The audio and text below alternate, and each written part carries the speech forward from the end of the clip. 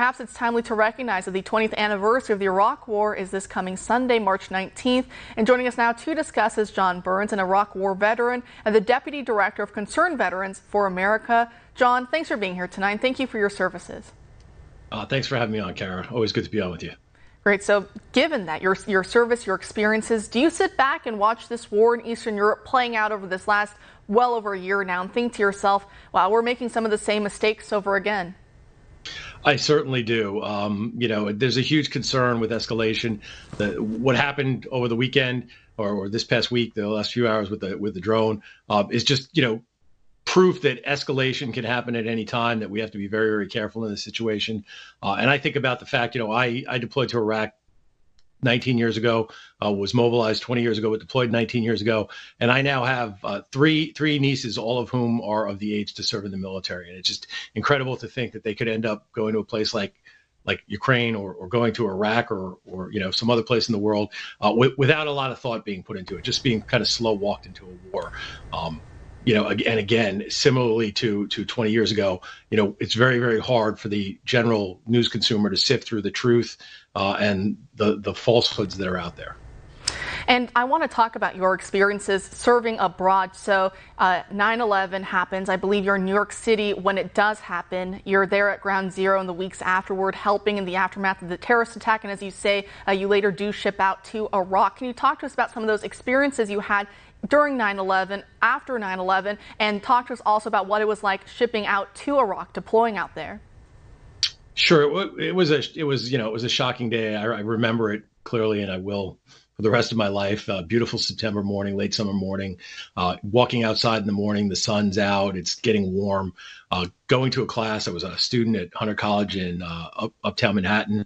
Uh, sitting down, hearing sirens outside the window, and hearing a few minutes later that a plane had hit the World Trade Center. Uh, racing to my armory, trying to get you know into a place to do something to make a positive contribution. I was in the National Guard at the time in a unit in Manhattan, uh, spending the day in frustration and shock combined, and finally deploying down to uh, to secure the perimeter around Ground Zero that night and working down there for the next couple of weeks. Uh, went from you know from shock to anger to just kind of a prolonged frustration. Um, I was really excited, you know, when the war in Afghanistan started a couple of weeks later. I was very excited uh, when you know the war in Iraq started. I was a supporter of both of those at the beginning of both of those. Um, I knew uh, at the start of the war we were called up, deployed into Manhattan again to pull security there during the first couple of weeks.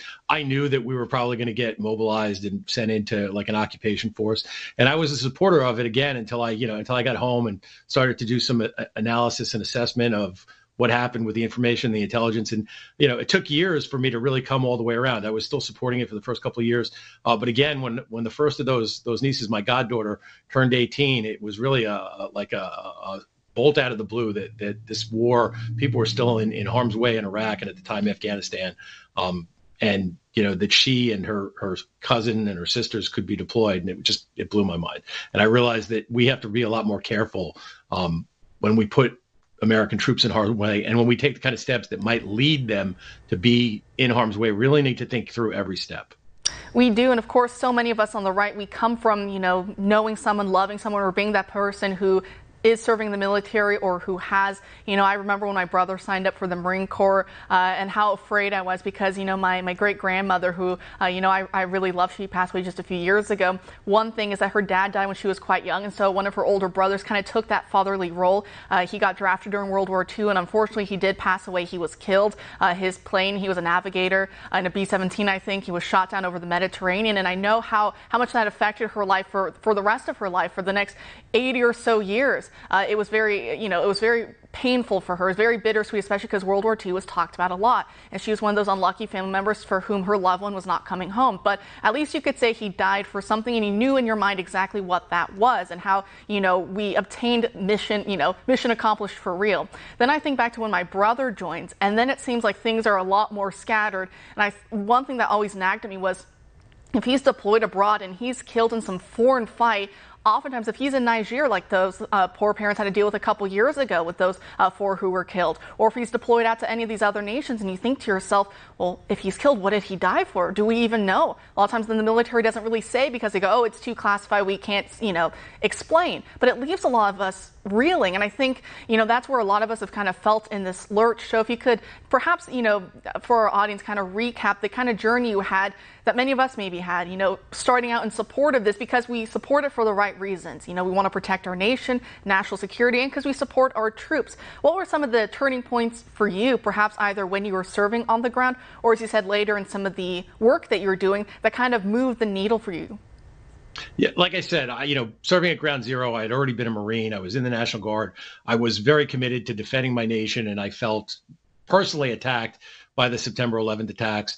Uh, you know, I, it wasn't that I was silly enough to conflate Iraq and Afghanistan, but with the threat coming from Afghanistan and, and the war there, I believe the reported intelligence that there were weapons of mass destructions and that Saddam Hussein was a real threat.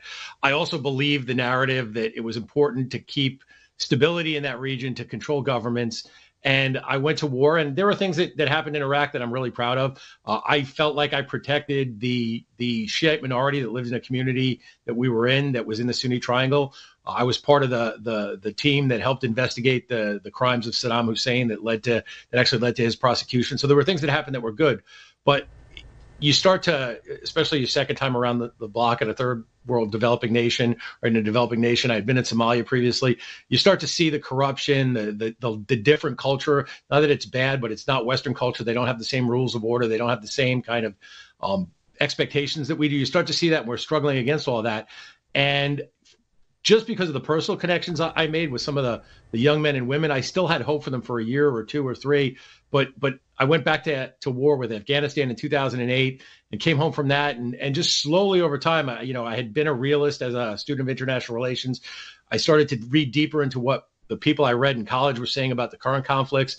My my nieces and my nephew got older and it just didn't it started to not make sense anymore and it started to, to make sense what, what people that i hadn't listened to for years were saying about you know why are we risking young men and women for things that aren't in america's core national interest is it really that important as, as one of my friends put it you know which um, theocratic government is in charge in which part of the middle east and at the end of the day we need to think about the middle east as a region that isn't super vital to America's security. Not that we shouldn't care about it all, but we need to put it we need to put it in perspective. We need to put it in priority. We have bigger places, places where we need to be much more involved. You know, the situation has changed since the initial Iraq war back in the 90s with the way America has handles its energy situation here at home with other, you know, other energy sources throughout the world have been developed. And we just need to start treating Iraq like like a regular country. I've come to that conclusion.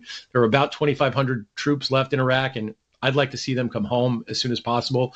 Uh, we're pushing. You know, Congress has uh, has some things going on uh, this weekend. There was a, a vote, a cloture vote in the Senate for uh, Senate resolution to repeal the authorization for use of military force in Iraq that passed cloture today. Um, it's coming up for a vote next week. You know, great hopes that that passes. Uh, even if it doesn't really do anything practically for those 2,500 troops, it sends a signal that there are a lot of people in the American government who think that it's time to call an end to this it sends a signal to those of us who serve there that, that there are people who believe that as well.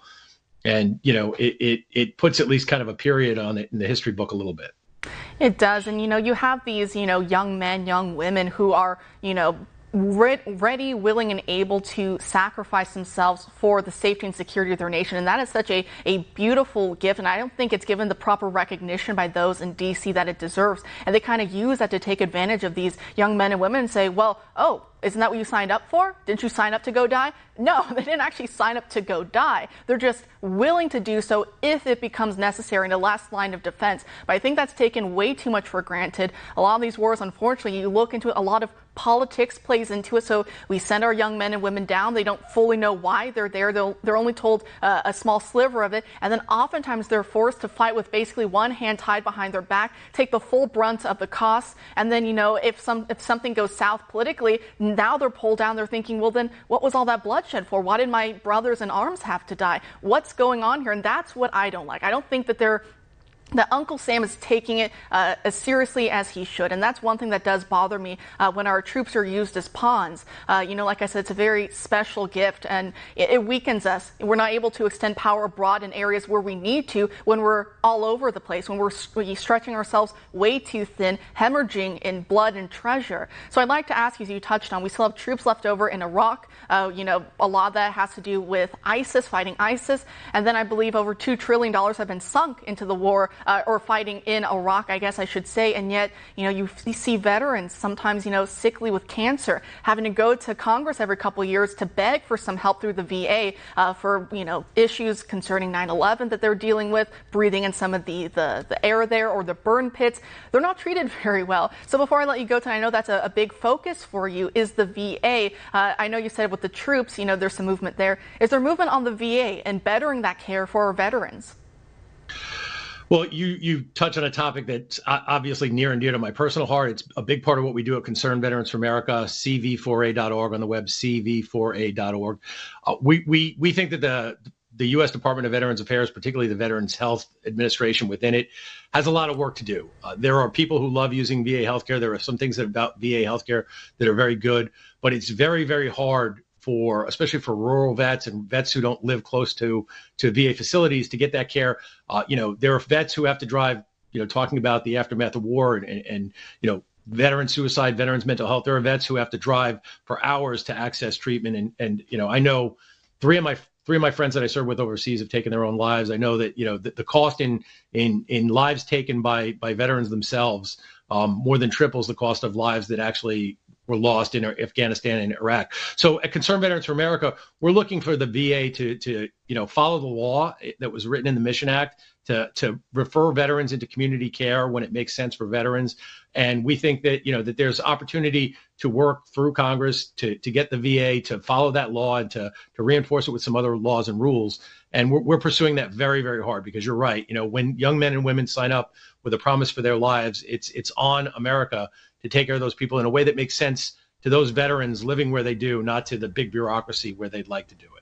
You're exactly right, John. Of course, I love the work that you do. I really appreciate everything that you do. And of course, your service abroad. You know, of course, when we talk about some of the follies in foreign interventionism, we shouldn't forget, as you're saying, the sacrifices and the real good work that did come by the, the men and women, the boots on the ground, put in those situations. You know, as I said, you know, the, the rules of engagement, everything else kind of hands tied behind their back, but they make the best of it, fighting some very nasty forces abroad. And of course, they still, you know, uh, did good, kept their back straight, and, you know, did America proud even when the suits in D.C. weren't acting so great. But, you know, again, I don't think that should get lost when we talk about the wars in Iraq, Afghanistan, the good that did come out of that, the good that you, men like you did. So, John, thanks for joining us tonight.